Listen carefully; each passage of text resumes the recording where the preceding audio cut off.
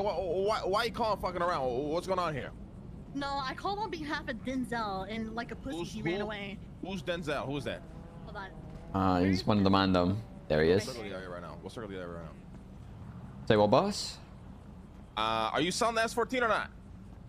Uh, no, I'll be honest. Uh, I didn't want to sell it, but everyone thought that I should. So uh, I didn't call you. You know what I mean? So uh, no, unfortunately, I'm not selling the car.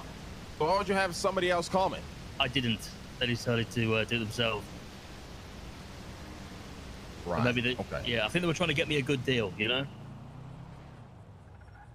You really made us look like a bitch, though. I can't lie, Denzel. Yeah, you really did. You really Who the did. fuck is he to come into Who? our block and try press us like that?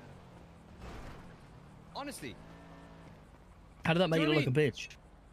they just rolled in six deep into the block and pressed us like pussies. What the fuck's that about? I did, how go did to that make Roosters look, and how- press them back then. Yeah, how did that make anyone look like a bitch?